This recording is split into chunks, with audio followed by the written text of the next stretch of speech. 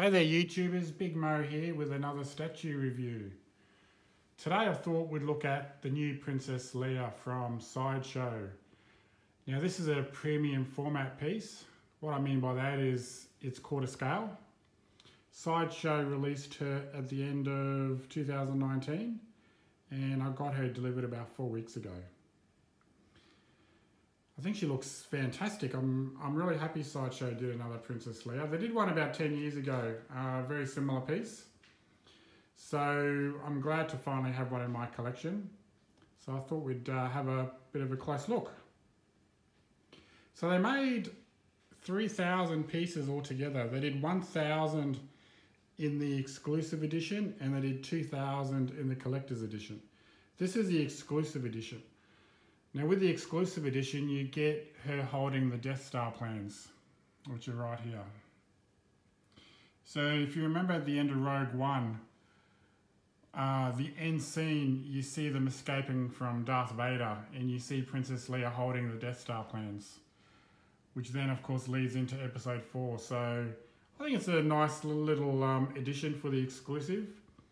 Um, whenever I see this piece, I think of the end of Rogue One, and of course, I also think of Episode 4. So what we'll do is we'll start at the base, we'll have a good look at the base. So they've got her position, uh, positioned on the Tantive. And what I like about this base, I'll get in nice and close.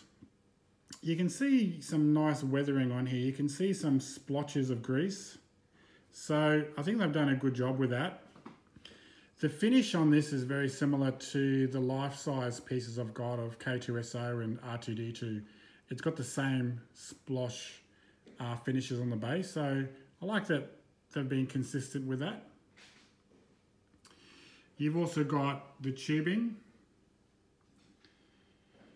uh, on the bottom of the ship, which is good. Let's turn her around, have a bit of a look at the back. So you get this piece of the ship as well at the back. So this just slides on. But of course, we, all, we know this. This is the iconic moment where she's uploading the Death Star plans into R2-D2.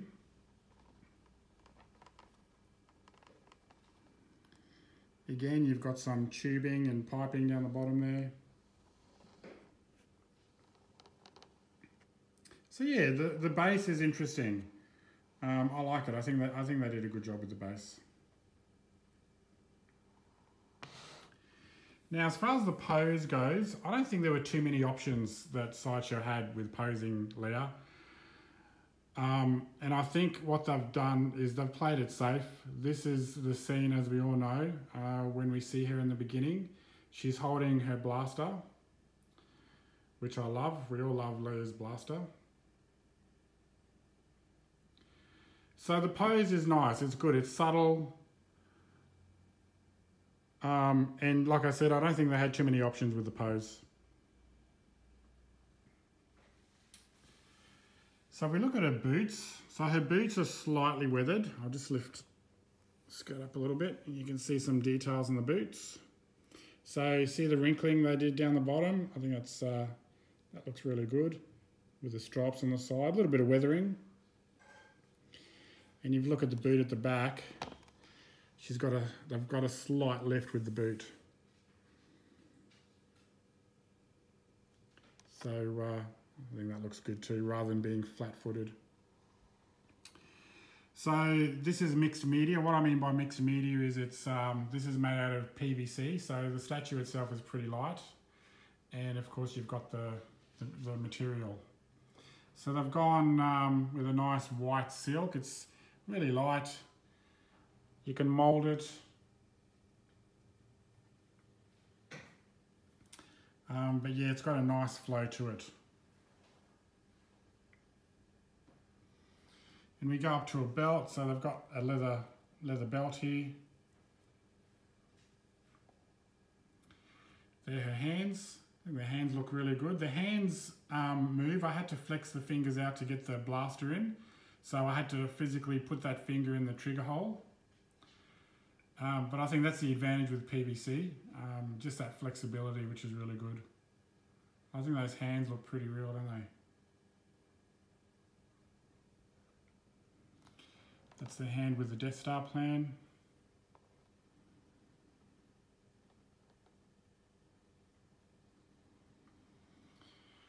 Now let's have a look at the portrait. Now, Sideshow's portraits can be hit and miss. I think this one's a hit. They've done a good job with the portrait. That is definitely Princess Leia. I love her nose, her lips, really nice shine to the cheeks. The hair looks fantastic. I, am definitely saying this is a hit for Sideshow. And really, I don't think you'd want to stuff up one of the most iconic characters in movie history, would you? So I'm glad they took their time and they, they've done a pretty good portrait with Leia.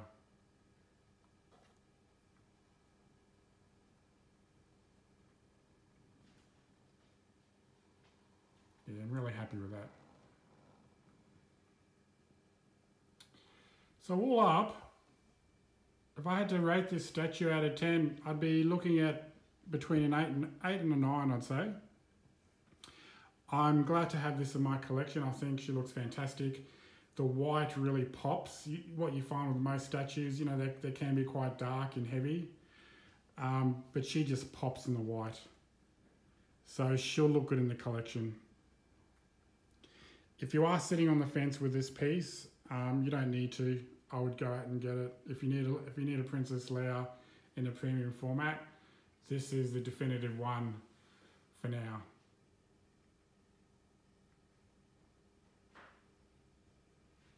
So the next piece I'll be reviewing coming up will be Obi-Wan Kenobi. Uh, that's the new premium format from Sideshow. He's due out in a few weeks, so as soon as I get him, I'll do an unboxing and I'll um, I'll review him for you. I'm looking forward to getting him because I don't have an Obi-Wan Kenobi. So let me know in the comments what you think of the portrait, what you think of the piece. I'm a fan. I think Sideshow knocked this one out of the park. Alright, I hope you enjoyed this vid. If you did, please subscribe, give me a thumbs up. And I'll have many more reviews coming up later this year. Thanks for watching.